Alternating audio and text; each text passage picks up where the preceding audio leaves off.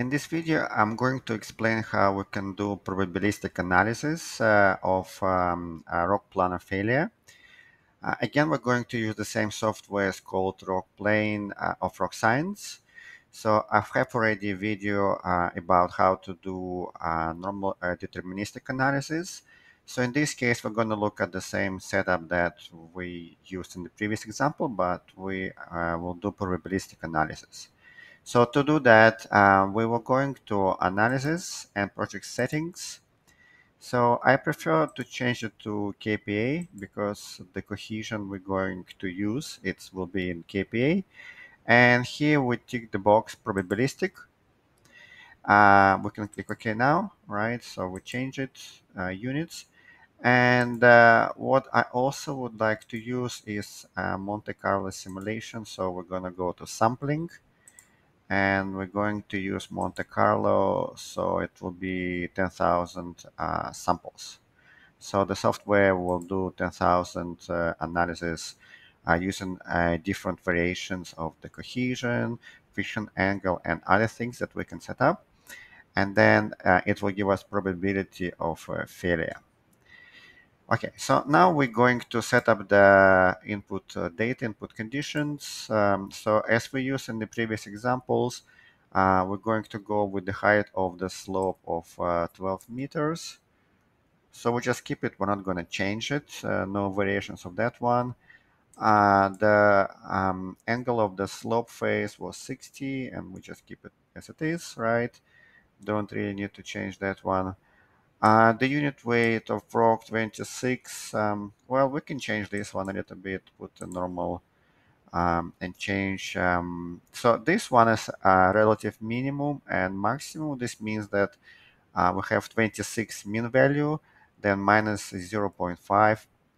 So the minimum value of unit weight will be uh, 25.5 kilonewton per cubic meter. So we can change it or we can keep it. So I don't think it's gonna make a big uh, uh, difference, big influence on the data, so we'll just keep it as it is.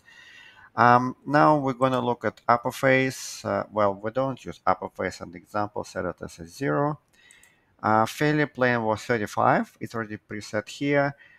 Um, let's give it a little bit of uh, uh, distribution. We put a normal distribution, plus minus 5 degrees. I think that would be a reasonable assumption. Um, this is assumption actually comes from uh, site investigation or laboratory investigation.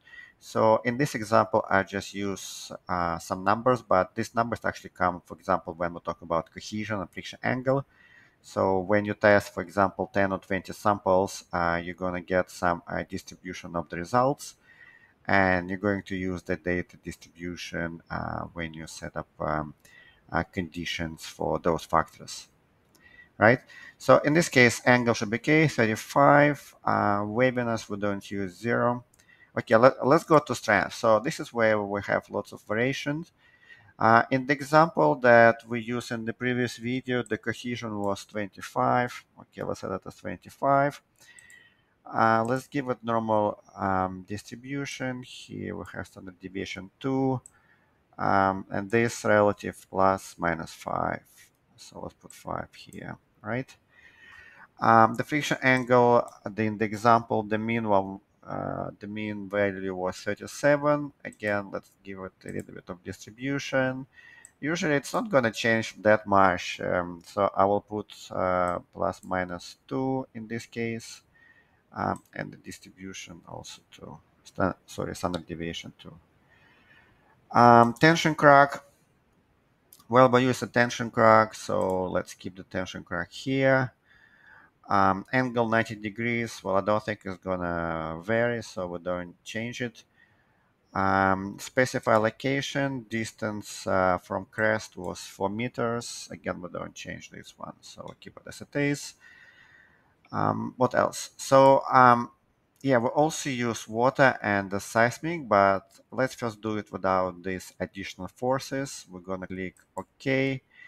And you see that it says probability of failure it's equal to zero. This means that the slope is very stable, even though we vary cohesion and friction angle and we vary the uh, failure plane a little bit.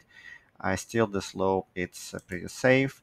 So we can look at safety factors, distribution. So you see they're all more than one. So there is uh, no issue. Uh, this um, plots cumulative um, uh, probability. You see that probability starts with 1.33. So um, whatever we vary uh, all these parameters, uh, it's not going to have any effect on the slope stability. Okay, so now we are going to introduce uh, seismic coefficient and we're going to introduce also water. Let's go back to analysis and input data. So for seismic coefficient, we use value of uh, 0.08. Um, probably we're just going to keep it as it is, not going to uh, change it. But for water, let's, uh, because water is very important, uh, let's see what we have with water. So uh, plane water pressure exists, yes. And okay, here, uh, what we can go is uh, we can just look at 100%. Uh, just let's see, we're not going to change anything, but we're going to come back. So we're going to have peak pressure um, at uh, tension crack base. So that will be 100% filled uh, with water, the tension crack. Uh, let's see what probability of failure is going to give us. Okay, so you see that probability of failure will be 96%. Um, if we look at the histogram of safety factors, so um, all this uh, simulation using uh, Monte Carlo simulation, uh, when we vary uh, parameters, you will see that um, when the um, the tension crack is still 100%, um, there is 96% that slope is going to fail, right? And only like 4% that is going to be stable, which is not very good news for us. Um, but that's what is going to happen because there is a very high effect of uh, um, water. So what we can do is, let's say that when we actually do some site investigation, and the site investigation give us a value that only half of the crack it's filled with water so we're gonna put 50 percent but uh, it uh, varies uh, with time with the season uh, let's say that um, relative uh, minimum um, I don't know let's just maybe um, give it uh, 25 25 percent so it varies um, up and down by 25%. So maximum it can be from our, let's say from our investigation, maximum can be only 75% of the crack will be filled, even when we have a very uh, heavy rainfall. And then when it dries up, uh, it uh, goes to only 25%. Um, so we can click OK. So in this case, you see probability of failure uh, becomes zero which means that, uh, again, all the safety factors for all possible combinations of different factors that vary will give a safety factor more than one. So this means that uh, that's going to be pretty stable. Um, okay, so um, let's maybe uh, increase the safety, uh, sorry, the um, water uh, percentage.